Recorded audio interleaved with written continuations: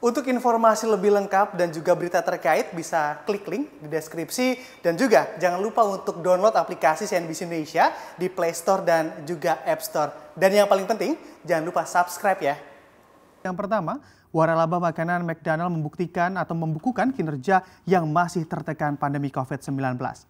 Meski penjualan mampu naik di kuartal keempat, namun belanja perusahaan diklaim masih cukup besar.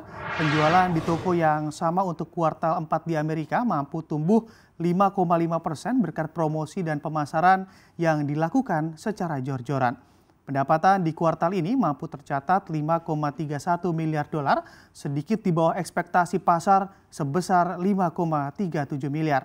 Angka penjualan bersih global ini turun 1,3 persen secara tahunan.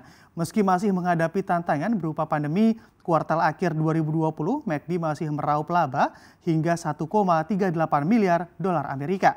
Selain promo, biaya penutupan gerai juga membengkak hingga 30 juta dolar Amerika Serikat.